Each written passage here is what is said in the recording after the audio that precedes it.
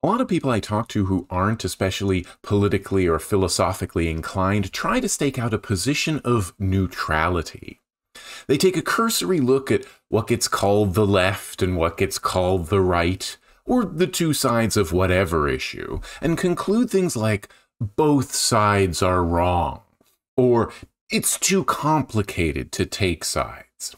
It sounds wise because you're aloof from the real conflict able to think more clearly than people on the ground.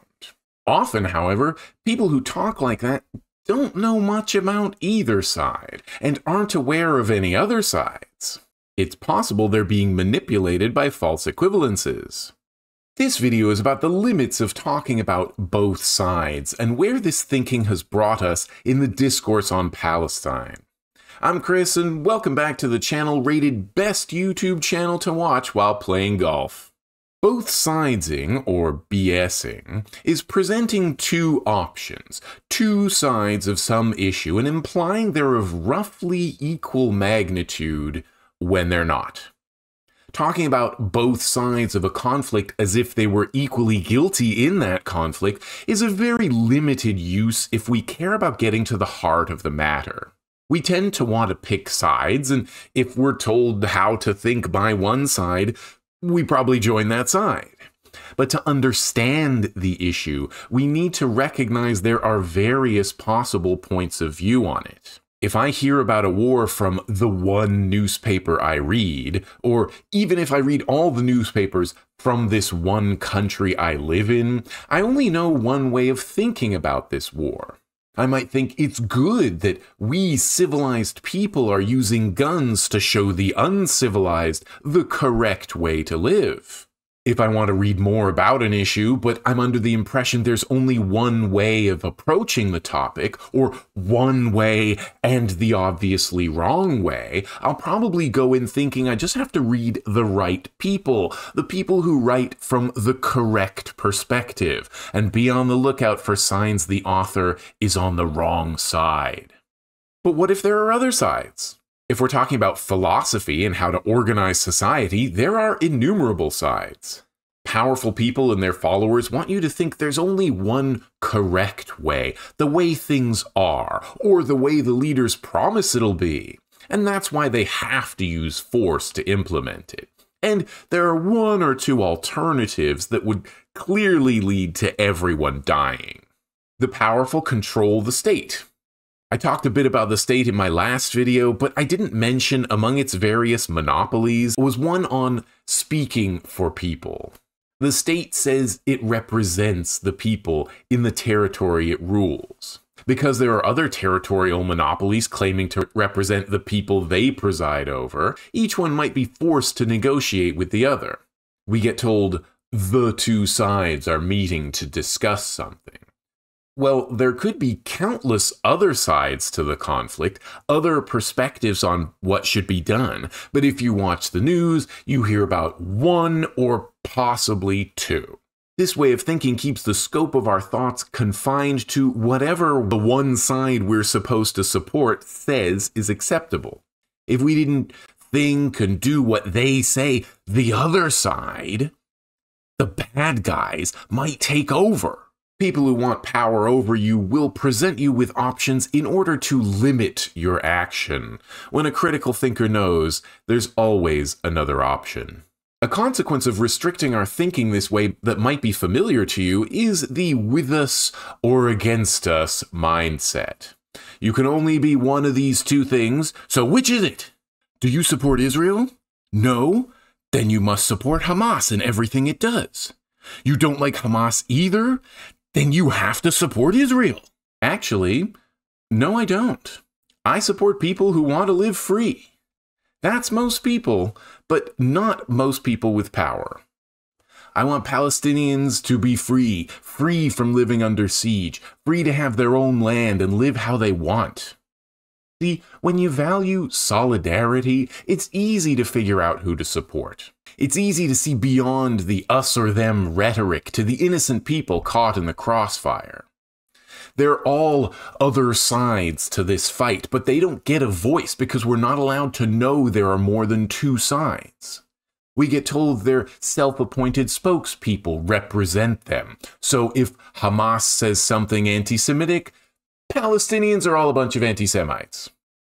Israel can now add to its list of demands that people de radicalize to the extent that no Palestinian feels any animosity towards anyone else before Israel will lift the siege. Now, I'm not about to defend Hamas or the attack on October 7th, 2023. But if you don't know the century or more of history behind this conflict, you might not realize the enormous difference between Hamas and the IDF, or why there might be more than two sides. If you don't know how much 2 million people are suffering in Gaza and why, you might think each party has an equal grievance against the other. In fact, if you just listen to their words and inherently trust the gleaming white officialness of the state press conference, you might favor Israel, or maybe criticize Israel as also wrong, but not so wrong that anything should change. Hamas talks like they want to terrorize people. If you just watch the news with its fake attempt at showing both sides, you might think Hamas's rhetoric can justify the things Israel does, especially when contrasted with Israel's carefully crafted image as this free democracy where everyone is welcome. You can choose between the legitimate state with uniforms and parliaments and fighter jets and everything, which says it believes in human rights and minimizing casualties, or the brown men in masks speaking scary words who the news calls a terrorist group. You might conclude the IDF has to shower Gaza with bombs. Hamas is evil. Sure, killing ordinary people is bad, but if they didn't, things might be even worse. Both sides are wrong. Better not change anything or even get involved. And that's how to arrive back at the status quo every time. That's how we train ourselves to think and do what the powerful want us to, accepting rather than resisting. Now I just need a simplistic explanation that wraps up the whole issue so I don't have to think about it anymore. How about it's complicated? Perfect. But is this really a war between two sides? Let's look at what we know. First, Hamas is not a state. It attempts to claim a monopoly on force and administration in Gaza, but some other requirements of being a state that Hamas doesn't have include sovereignty, a military, and being recognized by other states. And in case you had hopes for it, the way it's currently being offered to Palestinians, the so called two state solution, the deal on offer since 1993, would not permit a Palestinian authority to build a military either. The deals offered to Palestinians, or more accurately, whatever representative the imperial powers choose to deal with, gets weaker with every decade as Palestinians' bargaining power has dropped, and they found themselves with fewer and fewer state allies. One of the main reasons for the attack on October 7th was probably to sabotage the rapprochement between Israel and Saudi Arabia.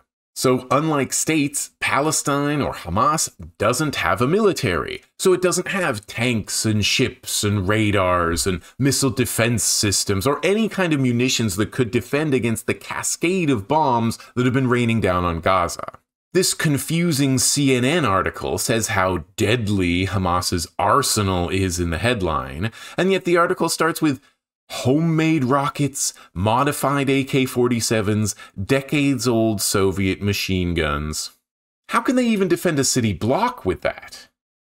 To call it the Israel Palestine conflict or war, like supposedly neutral media do, is to imply Hamas or some other Palestinian people could prevail through military means, to send in multiple divisions, then take and hold territory, occupy cities, install puppet governments, and other things the winning side does after a war. Hamas has no capacity to blockade another state, to deny it food, water, and electricity. It's a war, but it's not a war between Hamas and Israel. It's Israel's war on the Palestinian people. If you think of Hamas and Israel as the two sides, it's easy to say both sides are wrong. But let's not end our thinking there. Are they the only two sides? Well, let's come back to that. The two sides we're presented with do plenty you can criticize, but they're too unevenly matched to compare. It's like comparing a dog with a crocodile. They can both bite, but one side can bite way harder. As a result, neither the IDF nor Palestinian resistance attack each other on even ground. Hamas and Islamic Jihad and some others carried out a surprise offensive because that's the only way you can hurt a vastly stronger force, by hitting its weak spots. Israel, meanwhile, faces no challenge when showering bombs on crowded civilian areas. It feels like 9 11 all over again. Is that what war is now? Angry people commit one ostentatious terrorist attack, and the response is thousands of smaller terrorist attacks? Does anyone really think that's how you end the cycle of violence? Or do they just feel the need to look tough all the time? I don't understand why it's so obvious to everyone that taking revenge on people who weren't involved is a legitimate response to terrorism, or anything, really. How could it be okay to target schools, mosques, hospitals, and ambulances? Why does Israel target journalists? Is it the same reason the US did in Iraq? And states at war around the world do? Why is it excusable to target a civilian convoy fleeing an area being bombed after the IDF promised to try real hard not to? Because Hamas? And this keeps happening. Every couple of years, Israel decides to punish everyone in Gaza collectively because some of them have been firing rockets into Israel. All their excuses rely on the assumption of collective guilt. The Palestinian people voted for Hamas. Well, you know, some Palestinians who were alive at the time did it anyway, and therefore Palestinians are a bunch of terrorists. Those people were near a member of Hamas so we blew them all up. As such, it's hard to buy the argument that Israel is just defending itself. How's bombing civilians with no capacity to hurt you defending yourself? Only if you assume there are no civilians, and it's just fine to kill indiscriminately. It's true, any of them could be the next terrorist, but where do you think these terrorists come from? Obviously, Palestinians want to fight back, but you can't do that on your own, so you cast around for groups who seem to be fighting back. I don't know if I've said this yet, but I don't support Hamas or Islamic Jihad. I know how important it is to Zionists that you mention that, but how could you fail to see why people would join them? Can you put yourself in other people's shoes just for a minute? If your friends and family and their friends and family and everyone you know is being punished for the crime of being Palestinian, would you just sit back and hope things got better? When people claim rockets being fired into Israel are a good reason to kill tens of thousands of people, they're creating a false equivalence. And they're putting the cart before the horse. Those rockets are a result of living under occupation. People don't like being squeezed every day of their lives. They don't want to live under a blockade forever. So they fight back against their oppressors. I know, who does that? They must just teach their kids to hate. Those rockets have also been called a war crime for the same reason as some of Israel's bombing raids. They're indiscriminate and inevitably hit civilians but the rate that they land anywhere near anyone tends to be one tenth or one twentieth of Israel's numbers, or in the case of Operation Cast Lead, one hundredth. That's how disproportionate this violence is. That's how deadly those rockets are. I've been hearing for years how Israel has precision guided munitions and how it has these teams that review the targets and judge they're the right ones. And no one points out these factors all but prove Israel targets civilians. They could change targets and redirect the missiles, but they don't. When a three year old girl is killed in a home in Gaza, it's because someone in the army decided it wasn't a big deal for her to be killed that it was a price worth paying in order to hit another target. They're not just trying to kill card carrying members of Hamas, Israel wants to cause maximum damage and kill as many people as it can until it can be forced to the negotiating table.